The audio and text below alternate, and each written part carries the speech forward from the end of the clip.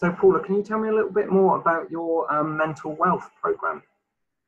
Yes, the mental wealth program is uh, a program of uh, support we've put in place to help people, especially during COVID uh, times where there's an increase in anxieties, depressions, bereavements, this sort of thing.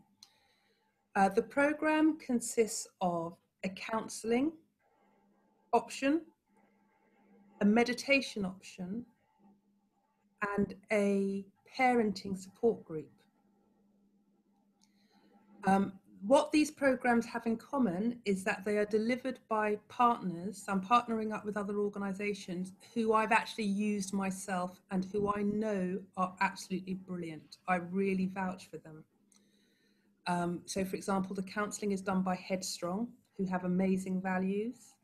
The mindfulness course is being delivered by Dr. Caroline Hoffman, who's one of the most experienced and long standing mindfulness teachers secular mindfulness teachers in the UK. And the parenting group is for families whose children have additional needs.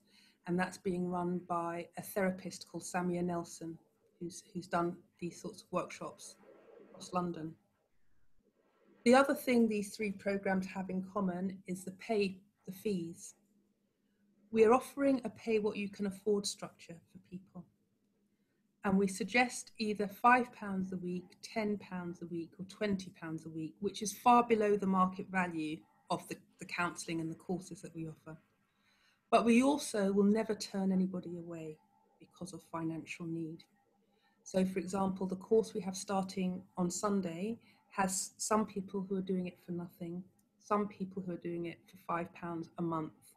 And the same with the counselling. We have a couple of people doing it for £5 a month because that is what they could manage and that is what they could afford and we wanted it to be accessible to everybody. On the other hand there are some people who are paying 160 pounds for the whole course and we in this way we've, we've balanced the fees. Sounds like a very good fair system yeah and the other thing that they all have in common apart from as i said the fantastic quality partners if i may say so apart from the fee structure is also that everybody who requires it that want can can have digital support. So if you want to do one of our programs, and of course, two of the programs are online at the moment. That's the counseling program is online and the mindfulness meditation is online. Um, not everybody at the moment has a camera ready device, especially older people. Um, not everybody can afford the sort of tariff that you need to do a two hour course every week, which is what you'd have to do for the mindfulness. So we've linked up with yet another fantastic partner, that's ACDA Skills Training in Ealing. And we are providing uh, Chromebooks, laptops, and unlimited broadband for free to people that require them to access the course.